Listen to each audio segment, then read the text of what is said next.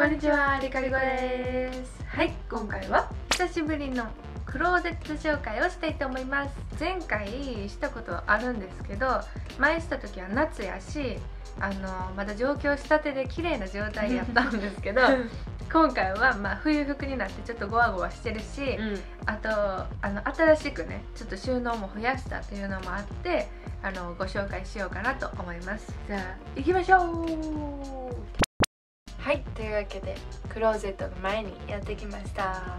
クローゼットはねこんな感じであじゃあオープンします。いや前振りない。じゃあオープン。ででちょっと冬服が多すぎて、そう冬服が多くって、ん。あのよく使っているダウンうん、とかも全部実は2個ずつあるんですよ。そうなの。大好きなブランドであのゲットしてそういうのがね2個ずつあってしまって、こちらもすっごい可愛いの。ダウン。ダウンがもうだって3種類あるもんな。うん。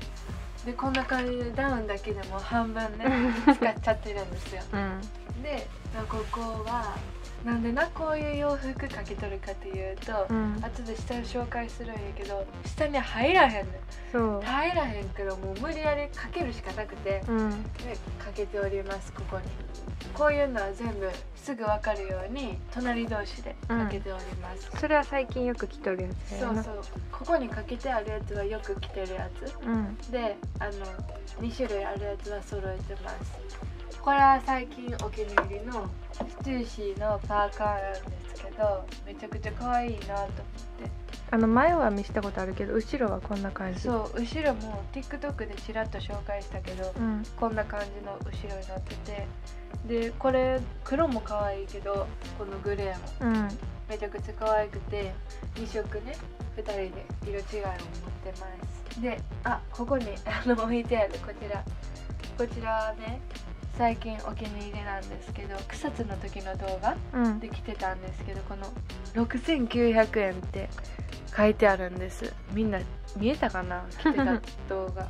めちゃくちゃ可愛いと思って一目惚れしてこれはリコと相談してもう即決で買いました。今年の冬は結構なんかスウェットとかパーカーが多かったよな。そうだからなんか最近はなんていうのあのあのストリート系うん。の洋服が多かったかもな、うん。で次下に行くとですね出すとこんな感じです。ここもパーカーであのナイキと x ガールさんのコラボのパーカーとかあとミルクフェードさんの洋服とか。でもこの洋服も春とかも使えるあの生地やからもうどうしようって思って早く着たいから着たいと思いながら置いてるんですここに。でこの下とかどんなんやろな。何が入ってわかんない。こんなもう突っかかって開けれへんねん。もうこれあかん。ほんま。冬服かさばるもんな。そう。こんな感じで、まあ、この服とかもよく見たことあるかなと思うんですけど、これとかミルクレードさんの洋服とかなんかここにはパーカーとかスウェットとか決めずにリカたち入れてしまったような、そうやな。最初の頃はね決めてたんですよ、うん。スウェットはこことかパーカーはこことか。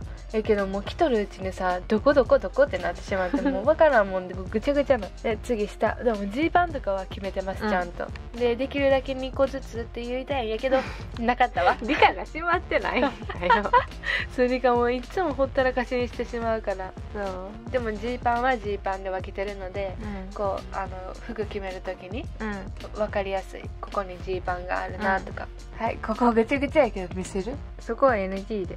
あでも見せてもいいよ。なんかここはまあ帽子とか。そう帽子あのニット帽とかほら。そうあとタイツとか。そうそうそうだからこうやって結んでます。そう最近はもう寒いからタイツとヒートテックが欠かせないですよそう、ね、はい、でこんな感じやろでここはあの春服とか、うん。ロンティーとか入れてます。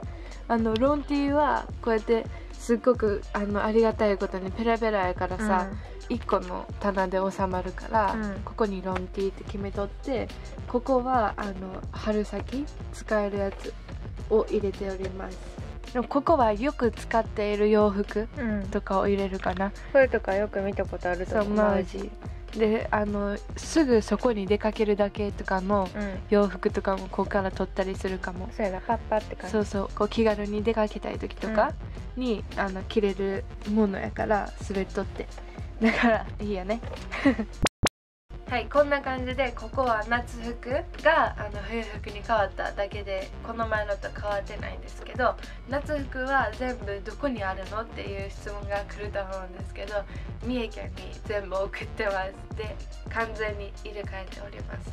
で次紹介する部分が新しくなった部分なので紹介します。はいじゃじゃんこちらの家具が増えました。これはですね IKEA の家具なんですけどえっと、この前届いてこの前組み立て終わりました。2000円くらいであの購入したハンガーラックなんですけどあのコロコロもついてるしすごい書きやすいから良かったです。結果的に。はい。でここにかかってるものはさっき紹介したクローゼットに収まりきらなかったあのアウターたちをかけてるんですけどこの辺とかは前ラフォーレの購入品で紹介したやつかな。でこれとかはちょっとまだ春先？着れそうなやつ。でも可愛いからここにかけてます。もうちょっとこのニットやからここが心配ハンガーは。これはもうリカが着すぎてボタンが取れそうになってるアウターです。とかこれはちょっと今かかってないんやけどお揃いでかけてたりとか。これはもう前ラフォーレンでの紹介でやったやつですね。これはまだねリカが1回も着てないんやけどスナイエルさんのやつなんですけどあの展示会で購入してまだ着てないやつですね。これも多分春着る予定やと思います。でここにかかってるのがえっとトートバッグなんですけどこれはジュエティさんのやつです。紹介したことあったかな？すごい可愛い柄でなんかシンプルなコーデの時とかによく使っています。でもう一つこっち側にかかってるものが、えっと、これはムルーアで購入したものでこれが、えっと、ミルクヘドさんのものです。はいそしてですねこの下に行きます。はいこれはですねこんな感じでなんか本当は見本を見たら靴とか置いてあったんやけどあのリカとリコはこうやって帽子置いたりとかあとちょっとここはもうほんまにぐちゃってなってて申し訳ないんやけどあの値札付きのあの服とかあのさっきのところに収まりきらない服を置いています。まあもうちょっとなんか収納方法を見つけてここもちゃんとしたいなと思っているところでございます。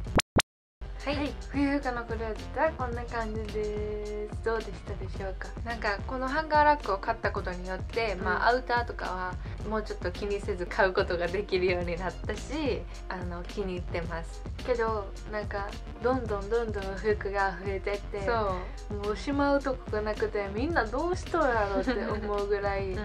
困ってるんですけどみんなどうしてますか、まあ、リカとリコの今住んでるお部屋が収納がちょっと少ないっていうのもあるるんですけどあのほんまに夏服は今ゼロってぐらい三重県に送ってるからだからまた夏が来た時にどうしようどうしようって焦るし今ある服をまた送ってするのかって考えるとちょっと頭が痛いんですけど。でもまあ今の状態はこんな感じというわけで紹介していました。なんかみんなの参考になればいいなと思うんですが、あの家具とか、あのこの最近買った家具とかも、う IKEA で購入して2000円ぐらいなのでそう。リカラみたいに服がしまうとこないとかいう方がいたらね、ぜひ真似していただけたらなと思います。なんかネットで見てたらこのハンガーラックにイルミネーションみたいなのをかけたりしてるお部屋もあった。それすごいおしゃれやなと思ったからリコもしたいなと思ってます。できやん絶対それでは最後にチャンネル登録とグッドボタンそして SNS のフォローもよろしくお願いします。そして3月14日土曜日ホワイトデーにスイーツパラダイス原宿店さんでリカリコのイベントをさせていただくことになりました。そのイベントの詳細やチケットの購入方法などは概要欄からぜひチェックしてみてください。それではまた次回の動画でお会いしましょう。バイバーイ。